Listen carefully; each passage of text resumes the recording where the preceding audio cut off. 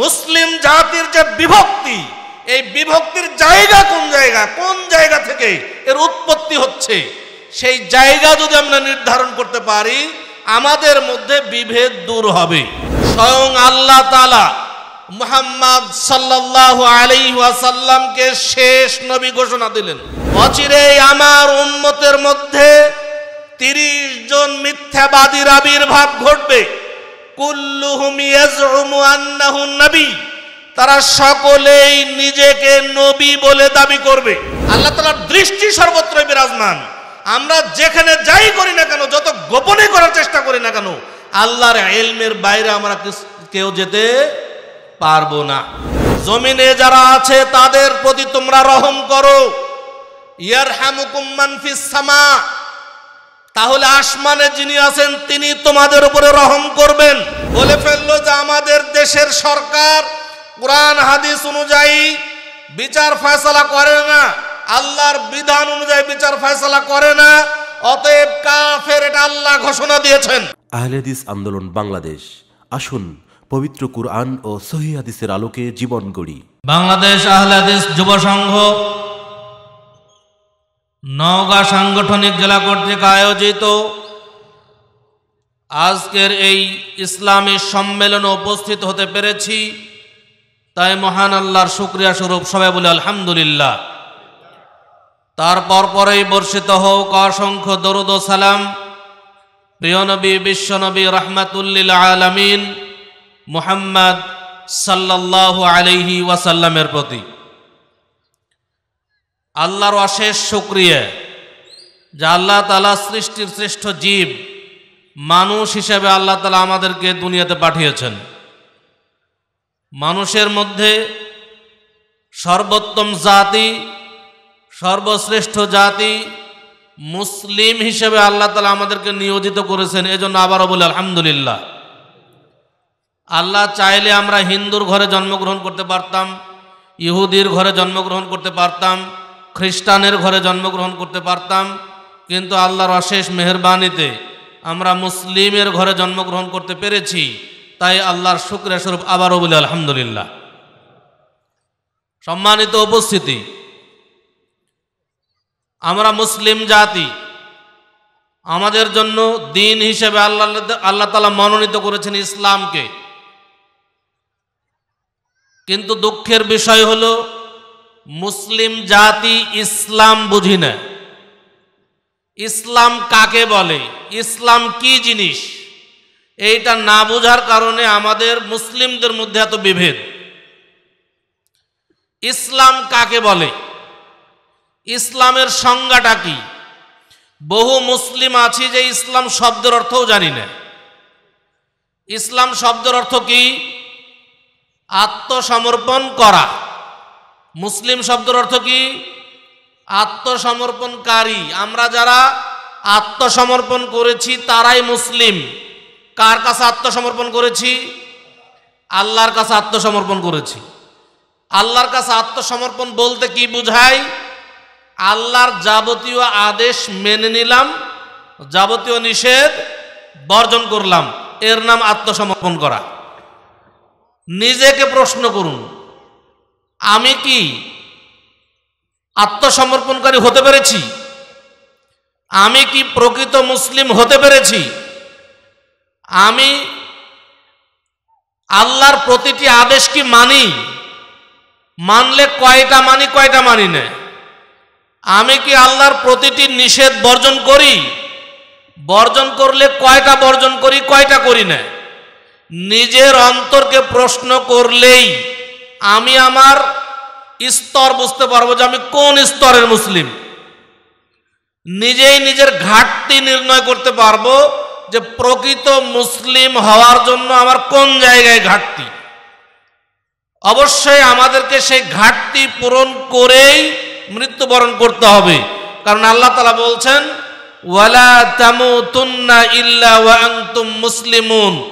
তোমরা প্রকৃত মুসলিম না হয়ে মৃত্যুবরণ করো না। ইসলাম কাকে বলে?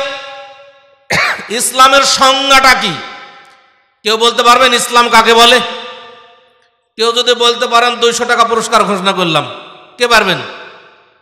ইসলাম কাকে বলে? হ্যাঁ একজন হাত উঠেছে ইসলামের সংজ্ঞা কি?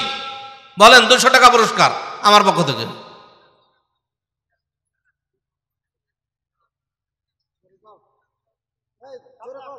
আচ্ছা আচ্ছা শুনতে পাচ্ছি, বলো, তুমি শুনতে পাচ্ছি।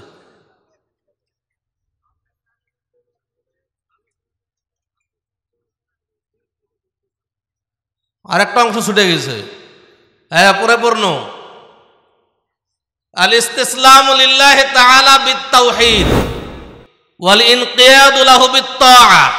ওয়াল বারাআতু মিনাশ শিরকে ওয়া এটা পরিপূর্ণ এক আল্লাহকে এক মেনে নেওয়ার মাধ্যমে আল্লাহর কাছে আত্মসমর্পণ করা। আল্লাহ তাওহিদে বিশ্বাস। তাওহিদের আলোচনা ইতিপূর্বে শুনেছেন না শুনেন নাই? শুনেছেন। আল্লাহকে এক মেনে নিতে হবে। কয়টা ক্ষেত্রে আল্লাহকে এক মানতে হবে? কয়টা? তিনটি ক্ষেত্রে আল্লাহকে এক মানতে হবে। কয়টা? তিনটি। এক নাম্বার হচ্ছে, আল্লাহকে রব হিসেবে এক মানতে হবে। তাই না? আচ্ছা রব কাকে বলে? কে বলতে পারবেন? রব কাকে বলে? কোন বিশ্বাসের নাম আল্লাহকে রব হিসেবে বিশ্বাস করা? কেউ বলতে পারবেন? আল্লাহ রব হচ্ছেন। ইফরাদ উল্লাহ রব হচ্ছে কি? যে ইফরাদুল্লাহ তাআলা বিল খালকি ওয়াল মিলকি ওয়াত তাদবীর। আল্লাহকে সৃষ্টিকর্তা হিসেবে এক মানা। সবকিছুর মালিক হিসেবে এক মানা। সবকিছুর নিয়ন্ত্রক পরিচালক হিসেবে এক মানা। আল্লাহ সবকিছুর সৃষ্টিকর্তা আল্লাহ সবকিছুর মালিক আল্লাহ সবকিছুর নিয়ন্ত্রণ পরিচালনা করছেন। এই বিশ্বাসের নাম আল্লাহকে রব হিসেবে বিশ্বাস করা। দুই নাম্বার হচ্ছে কি? ইবাদতের ক্ষেত্রে আল্লাহকে এক বলে বিশ্বাস করা। অর্থাৎ এক আল্লাহর ভয়ে ইবাদত করা, এক আল্লাহর সন্তুষ্টিতে ইবাদত করা।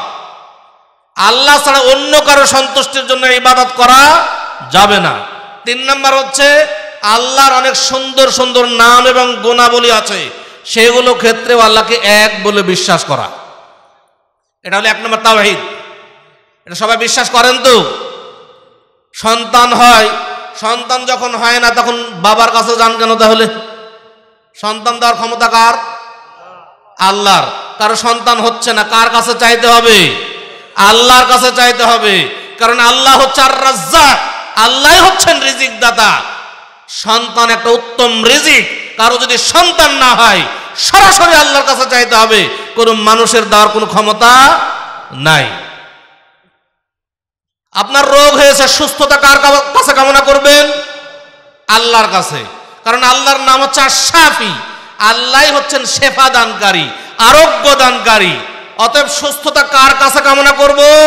আল্লাহর কাছে। কিন্তু আমি আপনি যে সুস্থ, অসুখ হলে, রোগ হলে চলে যাই, পানি বাবা, দড়ি বাবা, মাটি বাবা, বিড়ি বাবা, ক্যালকুলেটর বাবা, বহু বাবার কাছে চলে যাই। আচ্ছা কোনো বাবা কি কাউকে সুস্থ করতে পারবে? না, সুস্থতার মালিককে আল্লাহ। আল্লাহর কাছে সুস্থতা কামনা করতে হবে। এই বিষয়ে আলোচনা করতে গেলে বহু আলোচনা, আমি ওইদিকে যাচ্ছি না। আমার আজকে মেন আলোচনা যেটা, আমি সংক্ষিপ্ত আলোচনা করব। কারণ আমাদের মাঝে এখনও প্রধান বক্তা আসে নাই। প্রধান বক্তা আসে নাই বলতে উপস্থিত আছেন, মঞ্চে আসে নাই। একটু পরে উপস্থিত হবেন। আমি খুব সংক্ষেপে একটা বিষয় বোঝানোর চেষ্টা করব। সেটা হলো, আমরা সবাই মুসলিম, তাই না? মুসলিম আমরা। আমাদের নবী কয়টা? একটা কে?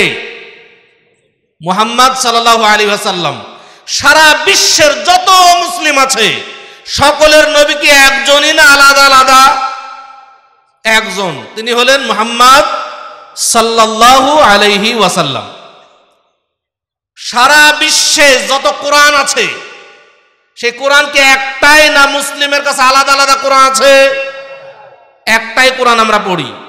সারা বিশ্বের সকল যত হাফেজ আছে, হাফেজে কোরআন, একই কোরআন মুখস্থ করেছে না আলাদা আলাদা মুখস্থ করেছে? একই কোরআন মুখস্থ করেছে। তাহলে কোরআনও একটা।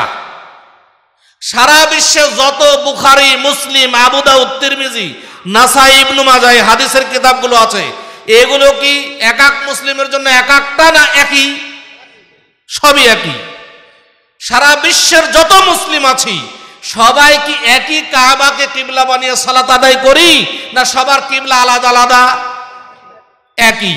সারা বিশ্বের সকল মুসলিম এই কাবাকে কিবলা বানিয়ে সালাত আদায় করি, তাই না? আচ্ছা সবই যদি একই হয়, আমরা যদি একই কোরআন পড়ি, আমরা যদি একই হাদিস পড়ি, আমরা যদি নবী হিসেবে একজনকে বিশ্বাস করি, আমরা যদি একই কাবাকে কিবলা বানিয়ে সালাত আদায় করি মুসলিম জাতি, তাহলে আমাদের মুসলিম জাতির মধ্যে এত বিভেদ কেন? প্রশ্ন আসছে কি, আসে নাই? আমি আজকে ক্লাস নিচ্ছি, বক্তব্য করব না। আজকে ক্লাস কিছু শিক্ষা গ্রহণ করে চলে যাবেন। সবাই আমরা এক জিনিস পড়ছি মুসলিমদের মধ্যে এত মত পার্থক্য কেন? এত মতভেদ কেন? কোন জায়গায় সমস্যা? এটা আমাদের নির্ণয় করতে হবে কি হবে না? হবে। যদি আমরা সমস্যার জায়গাটা নির্ণয় করতে পারি তাহলে আমরা সেই মতভেদ থেকে বেরিয়ে আসতে পারব। আপনার যখন রোগ হয়, তখন যখন ডক্টর ডক্টরের কাছে যান যে ডক্টর অভিজ্ঞ ডক্টর হয়, সর্বপ্রথম চেষ্টা করে রোগ নির্ণয় করার। রোগ যদি নির্ণয় না হয়, তাহলে ঔষধ প্রয়োগ করে কোনো লাভ হবে না। আগে রোগ নির্ণয় করতে হবে যে কোন জায়গা থেকে এই রোগের উৎপত্তি। এটা নির্ণয় করতে পারলে তার সমস্যা দূর। আমাদের গ্রামে আমার এক বন্ধু, রোগ ভালো হয় না, বহু ডাক্তার দেখায়। তা আমরা বললাম যে এই ছোট হাতুড়ে ডাক্তারকে দিয়ে লাভ নাই, ভালো একজন বিশেষজ্ঞকে দেখাইতে হবে। একজন ভালো ডক্টরের কাছে গেল, মাত্র দশ টাকার ওষুধ লেখলো। দশ টাকার ওষুধ খেয়ে ভালো হয়ে গেল। এখন বলেন যে আগে কিন্তু হাজার হাজার টাকা খরচ হয়েছে। কোনো লাভ হলো না। দশ টাকার ঔষধে তার রোগ ভালো হয়ে গেল। কারণ কি? আগে যতই ঔষধ প্রয়োগ করেছে, রোগ নির্ণয় করেনি। আগে রোগ নির্ণয় করতে হবে।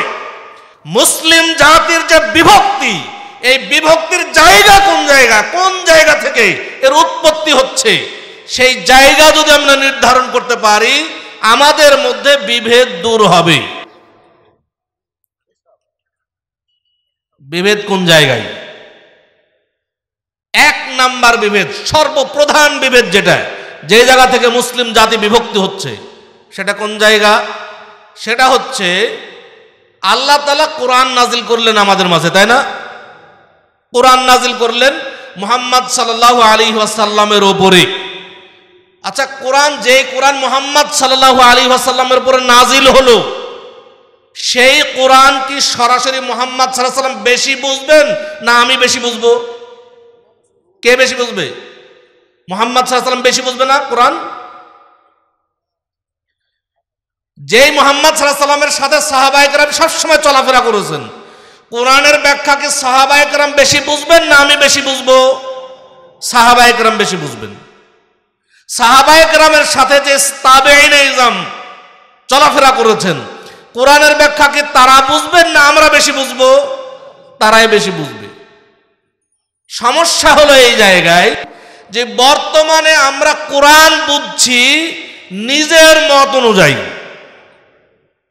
কোরআন যদি আমরা রাসুল সাহসালামের বুঝ অনুযায়ী বুঝতাম সাহাবায়ক রামের বুঝ অনুযায়ী বুঝতাম তাবে আইনে ইজামের বুঝ অনুযায়ী বুঝতাম, তাহলে আমরা পদভ্রষ্ট হতাম না, মুসলিম সমাজে বিভক্ত, বিভক্তির সৃষ্টি হতো না। বুঝবেন ভালোভাবে। আমি কারও বিরুদ্ধে বলার জন্য আসিনি। সবাইকে নিরপেক্ষ দৃষ্টিতে বোঝার জন্য অনুরোধ করছি। উদাহরণ দিলে বুঝবেন। উদাহরণ দিলে। আল্লাহ তালা পবিত্র কোরআন মাজিদে আয়াত নাজিল করলেন। মা কানা মুহাম্মাদুন আবা সাল্লাল্লাহু ওয়াসাল্লাম তোমাদের মধ্যেকার কোন পুরুষের পিতা নন। ওয়ালাকির আল্লাহ। কিন্তু তিনি আল্লাহর রাসূল। ও নবীন এবং তিনি শেষ নবী। এই আয়াত দ্বারা স্বয়ং আল্লাহ তালা মুহাম্মদ সাল্লাল্লাহু আলী ওয়াসাল্লামকে শেষ নবী ঘোষণা দিলেন। কে ঘোষণা দিলেন? মুহাম- মুহাম্মদ সাল্লাল্লাহু আল্লাহ শেষ নবী ঘোষণা দিলেন। আমাদের দেশে এক শ্রেণির মুসলিম আছে, যারা নিজেদেরকে মুসলিম পরিচয় দেয়। যাদেরকে আমরা কাদিয়ানি হিসেবে জানি। তারা মোহাম্মদ সাল্লাল্লাহু আলী আসাল্লামকে শেষ নবী বলে বিশ্বাস করে না। এবার যদি আমি বলি, আপনি গিয়ে তাকে বলেন যে, ভাই, তুমি নিজেকে মুসলিম দাবি করো। যদি নিজেকে মুসলিম দাবি করতে হয়, কোরআন মানতে হবে, কোরআন বিশ্বাস করতে হবে। কোরআনে আল্লাহ তালা নিজেই ঘোষণা দিলেন ওয়াখাতামান নবিয়্যিন। মুহাম্মদ সাল্লাল্লাহু আলাইহি ওয়াসাল্লাম শেষ নবী। তুমি নিজেকে মুসলিম দাবি করো, অথচ আল্লাহ তাআলার এই কোরআনের আয়াত মানো না কেন? আপনি প্রশ্ন করলেন। এবার জবাব কি দিবে তারা? এবার তারা কোরআনের ব্যাখ্যা, নিজের মস্তিষ্ক প্রচুর একটা ব্যাখ্যা দিবে। তারা বলে যে, আমরাও কোরআন মানি। এই কোরআনের আয়াতে আল্লাহ তালা মোহাম্মদ সাল্লাহ আলী ওয়াসাল্লামকে শেষ নবী বলে ঘোষণা দেননি। তো কি ঘোষণা দিয়েছেন? এখানে আল্লাহ তালা খাতামান বলে খাতাম শব্দের দুইটি অর্থ হয়। এক শেষ, দুই আংটি। খাতাম শব্দের কয়টা অর্থ? দুইটা।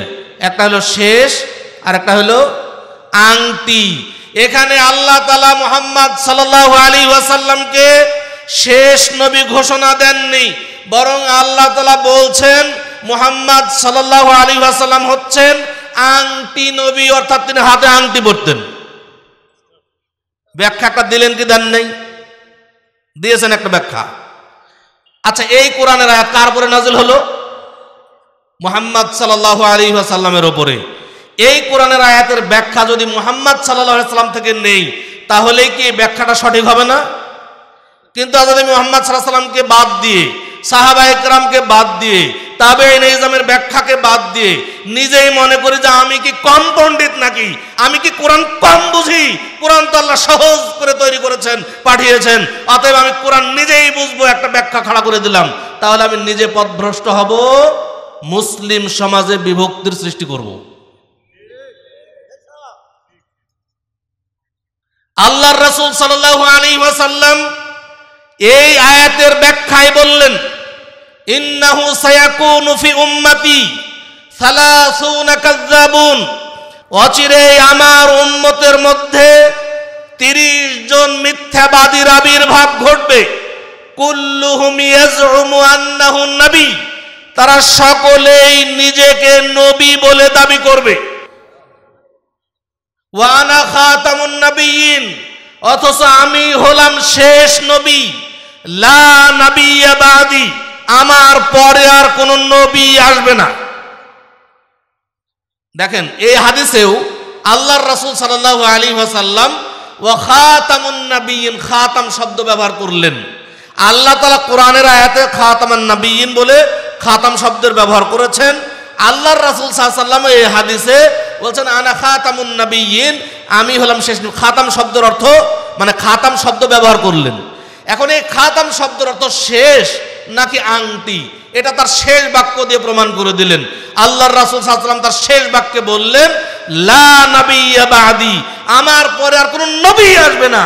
এই বাক্য দিয়ে রাসূলুল্লাহ সাল্লাল্লাহু আলাইহি খাতাম শব্দের অর্থ শেষ করলেন না আংটি করলেন? তাহলে কি বুঝলেন যে কোরআনের ব্যাখ্যা যদি আমরা রাসূল সাল্লাম থেকে গ্রহণ করতাম সাহাবা থেকে গ্রহণ করতাম তাবে আইনে ইসলাম থেকে গ্রহণ করতাম, তাহলে আমাদের মধ্যে মতভেদ থাকতো না। বহু উদাহরণ পাবেন কোরআনে। যেমন আরেকটা উদাহরণ। আল্লাহ তালা সূরা হাদিদের চার নম্বর আয়াত, আল্লাহ তালা বলছেন ওয়াহুয়া মাকুম আইনামা কুমতুম তোমরা যেখানেই থাকো না কেন, সেখানে তোমাদের সাথে আল্লাহ আছেন। আমাদের দেশের বহু সংখ্যক মুসলিম এই অংশটুকু পাঠ করে আমরা বললাম, আল্লাহ তালা নিজেই ঘোষণা দিলেন, আল্লাহ তালা সর্বত্রই বিরাজমান।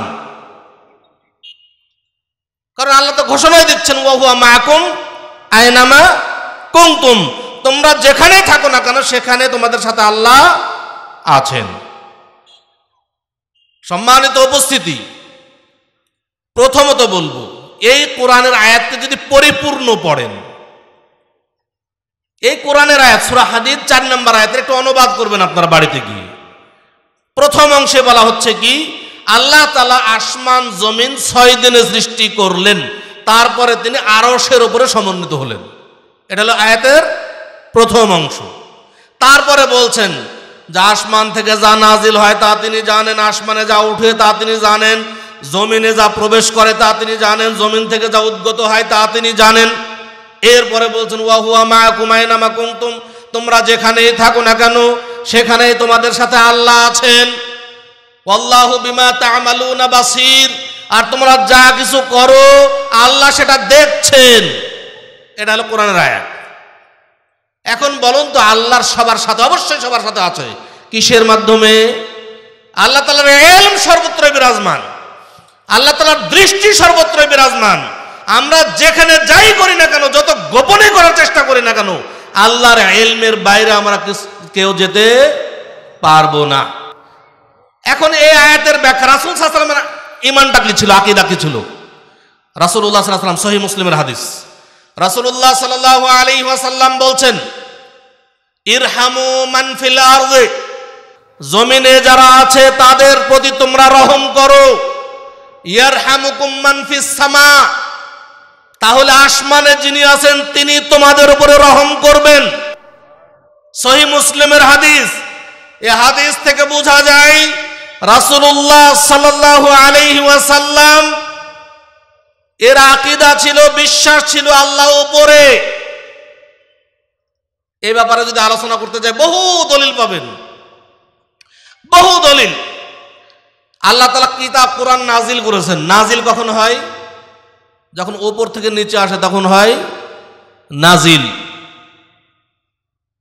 আমরা সকলে দোয়া যখন করি, তখন কোন দিকে তাকায় দোয়া করি? আমরা, আমাদের মনটা বলে না যে আল্লাহ উপরে আছে? আল্লাহ এলেম সর্বত্রই বিরাজমান। অতএব যারা বলছি, অবশ্যই এলমের মাধ্যমে, দৃষ্টির মাধ্যমে যদি মনে করেন যে আল্লাহ সর্বত্রই বিরাজমান, হান্ড্রেড পার্সেন্ট ঠিক আছে। কিন্তু জাত সত্তাগতভাবে আল্লাহ কোথায়? আরসের ওপরে। এটা আপনি নিরপেক্ষ দৃষ্টিতে যাচাই করবেন। এখানে বিরুদ্ধে বলার জন্য আসেনি, হাকিকাত বলছি। আপনি নিরপেক্ষ দৃষ্টিতে চিন্তা ভাবনা করবেন যে আসলে এগুলো কি? এলেম হাসিল করতে হবে নিরপেক্ষ দৃষ্টিতে কোনো দিক মাইল হয় নাই। হক যাচাই করতে হবে নিরপেক্ষ দৃষ্টিতে, কারণ কোরআন, সুন্না আমারও বাপদাদার তৈরি করা নয়, আপনারও বাপদাদার তৈরি করা নাই। এটা কার মনোনীত? আল্লাহ। অতএব এখানে আমার যুক্তিও চলবে না, আপনার যুক্তিও চলবে না। নিরপেক্ষ দৃষ্টিতে যদি চিন্তা করেন, বিষয়গুলো স্পষ্ট হবে ইনশাআল্লাহ। আমাদের দেশের এক শ্রেণির যুবক, তারা সুরা মায়েদার চুয়াল্লিশ নম্বর আয়াত দলিল হিসেবে পেশ করল। আল্লাহ তালা বলছেন ওমাল্লাম ইয়াহকুম বিমা আনজালাল্লাহ, ফাউলাইকা হুমুল কাফিরুন। যারা আল্লাহর বিধান অনুযায়ী বিচার ফয়সালা করে না, তারা কাফের। এই আয়াতকে দলিল হিসেবে পেশ করে বলে ফেলল যে আমাদের দেশের সরকার কোরআন, হাদিস অনুযায়ী বিচার ফয়সলা করে না, আল্লাহর বিধান অনুযায়ী বিচার ফয়সালা করে না, অতএব কাফের এটা আল্লাহ ঘোষণা দিয়েছেন। এই জন্য সরকারের বিরুদ্ধে জিহাদ করতে হবে, ঘোষণা দিয়ে দিলেন আমাদের দেশের এক শ্রেণির যুবক। কিন্তু কোরআনের এক আয়াত আরেক আয়াতের ব্যাখ্যা।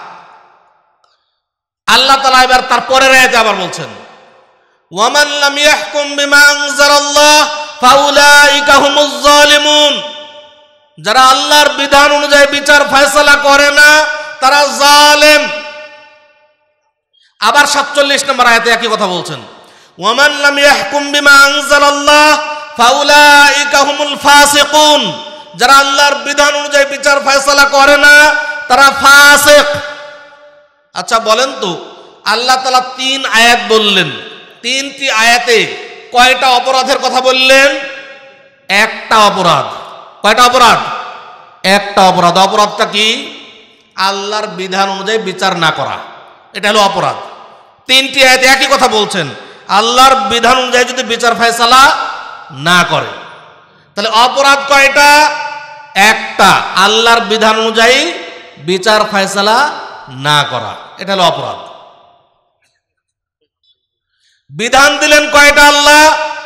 তিনটি। একটা চুয়াল্লিশ নম্বর আয়াতে দিলেন কাফের, পঁয়তাল্লিশ নম্বর আয়াতে দিলেন জালেম, সাতচল্লিশ নম্বর আয়াতে দিলেন ফাসেক। আচ্ছা বলুন তো, একই বিধান, একই অপরাধ, আল্লাহ হুকুম দিলেন তিনটি কেন? এটা তো বুঝতে হবে, এক আয়াত নিয়ে লাফালাফি করলে হবে। যে আয়াতে বলছেন কাফের, যেই শাসক আল্লাহর বিধানকে অস্বীকার করবে এবং অস্বীকার করো তো তারা আল্লাহর বিধান অনুযায়ী বিচার ফেসলা করবে না, তারা কাফের। জালেম কখন হবে? যখন সে স্বীকার করে, কিন্তু অন্যকে পালন করতে বাধা দেয়, তখন সে জালেম। ফাসেক কখন?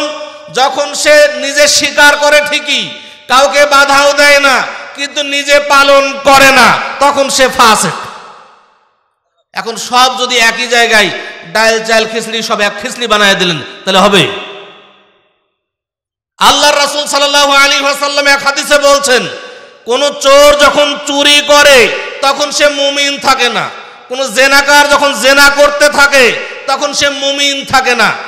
এবার এই হাদিস পেশ করে বলল যে, এই তো কাবেরা গুনাগার কাফের চোর করা কাবেরা গুনা জেনা করা কাবেরা গুনা কাবেরা গুনা করলে কাফের হয়ে যায়। এই যে মুমিন থাকে না, মানেই তো কাফের। এক হাদিস পাইলেন, এক হাদিস দিয়ে আপনি কাবেরা গুনাগারকে কাফের বানাইলেন। কিন্তু আরও যে হাদিস আছে।